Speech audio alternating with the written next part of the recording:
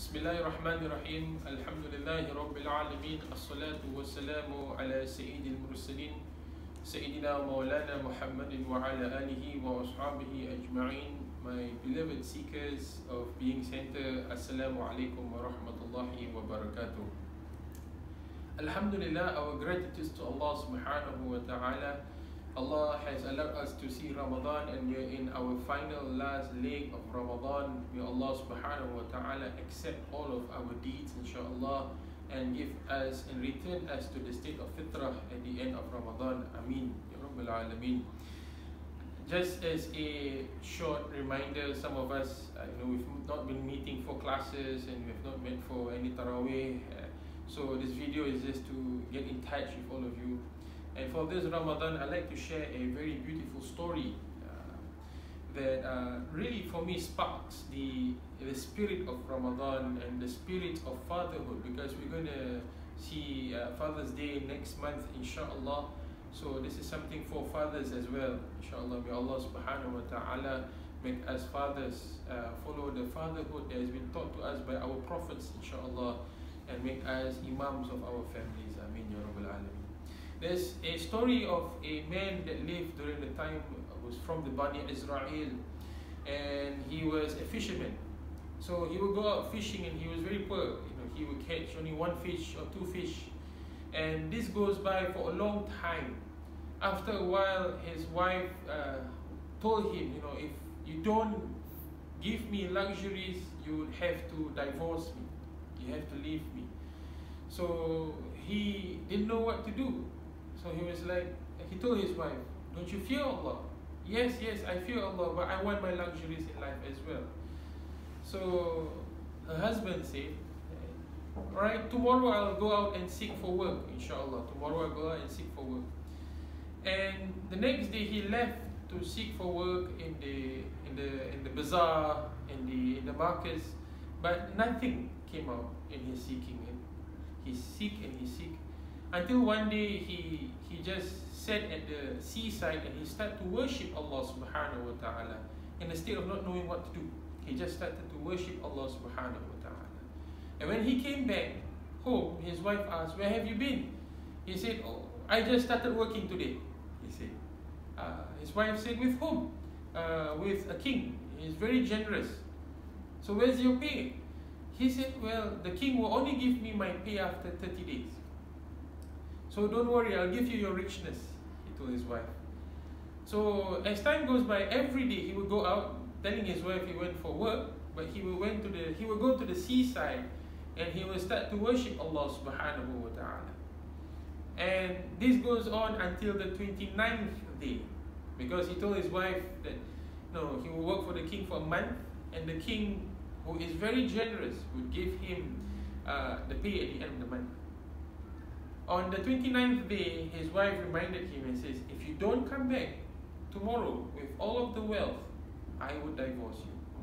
He became very worried. He didn't know what to do. He escaped for 29 days, and now the time has come for him to bring back his pay to prove to his wife. So that day he went to, to the seaside as normal and he started to worship Allah. And then came another man from Bani Israel as well and asked him, Why do you look so worried? He said, and he asked the man, and the man said, Well, this is what happened. I promised my wife that I'll bring back a pay, and you know, I have thus far I have nothing. So this man told him, Why don't you work for me today and you fast today? Maybe Allah through your fasting would intercede and give you something. So that is the 29th day. That very day, Allah subhanahu wa ta'ala instructed his angels and said, put there on a platter, on a, on a platter that is full of light, 29 dinars. 29 dinars. For we do not, eh, uh, we do not forsake those who have worked for us. If he had stayed longer, we would have paid him more. Send these dinars to the house of this man and present it to his wife. So the angel came in the form of a, of a, of a worker to the king and to the wife of this man and he presented his 29 dinars and the wife was very happily excited. But the husband was not home yet. The husband was not home yet. So much later during the day the husband came home and she asked where did you go well I was working with the king and I found that uh, no, I had to work with this other man so I left to work with this other man and his wife said oh you poor man why do you forsake your work with the king when he has already paid you 29 dinars so he was like, what happened? So he, his wife showed him. And when they went to the market, they were able to get, for one dinar, 1,000 dirhams. So imagine you have 29, so that's 29,000 dirhams. That's a lot of money, mashallah. Ever since that day onwards, uh, the, the husband knew that Allah subhanahu wa ta'ala does not forsake them. All he has to do is to be reminded and to be doing his job as a servant of Allah subhanahu wa ta'ala. And from that day onwards, he dedicated his life to Allah subhanahu wa ta'ala. And also because they have enough and sufficient wealth for him to worship Allah and to be at the same time taking care of his family.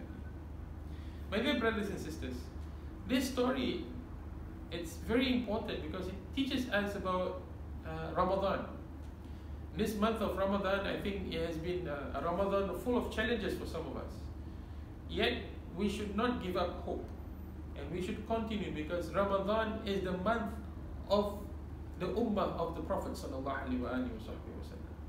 All we have to do is to ask Allah because He is most generous in this month. And we have to ask Allah through the blessings of the acts of the Prophet His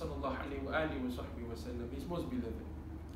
So if we take time in these last few days of Ramadan, the last leg of Ramadan, we I am very sure that Allah's Allah subhanahu wa ta'ala will not forsake us. All we have to do is to to approach Allah subhanahu wa ta'ala. He has mentioned in Hadith Qudsi, if you walk, if you come to me with your obligatories and I love you and you, the servant perform his sunnah, the speech of my servant is my speech the seeing of my servant is my seeing. And the hadith goes on. We would like to reach at least 1% of such a state in this month of Ramadan because this is the month that Allah gives. So I hope that Allah, Allah subhanahu wa ta'ala accept all of our deeds. And when He does accept all of our deeds, He does so and He repays them in dunya and akhirah.